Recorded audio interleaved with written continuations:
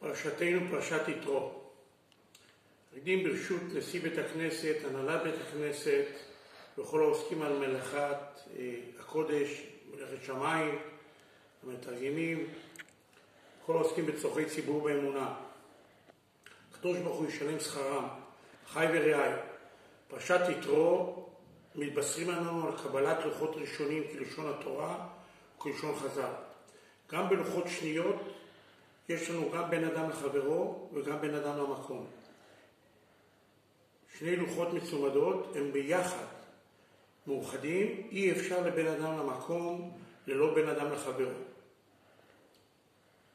כשבא הגר להתגייר לפני שמאי ואמר לו גיירני על מנת שנלמד את כל התורה כולה על רגל אחת. אמר לו, שמאי דחפו באמת הבניין.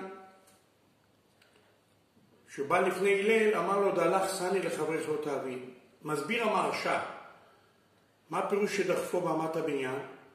הוא בא לרמוז לו, כמו שבניין לא יכול לעמוד ביסוד אחד, ככה תורה לא יכול לעמוד ביסוד אחד. אבל אנחנו הסברנו וממשיכים להסביר את דברי הלל לפי דברי המרשה, שהתורה כן יכולה לעמוד ביסוד אחד. זה דהלך סני לחברך לא תעביד. המצוות הללו שבין אדם לחברו הם יסוד לבין אדם למקום. ללא מצוות שבין אדם לחברו אין לנו קשר וקיום לבין אדם למקום.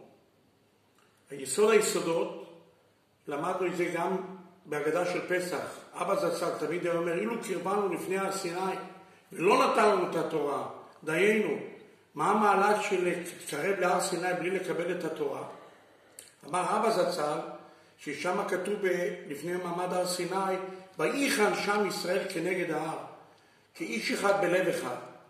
אותה אחדות, אותה אחווה, הייתה מביאה אותה ליראת השם, גם בלי שהם היו עדיין מקבלים את המצוות. האחווה והאחדות היא תנאי מקדים ומעכב לקבלת התורה.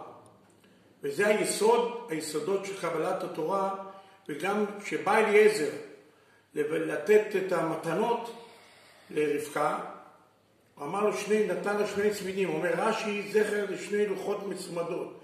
זה שני צמידים, כלומר אחד בלי השני לא ייתכן.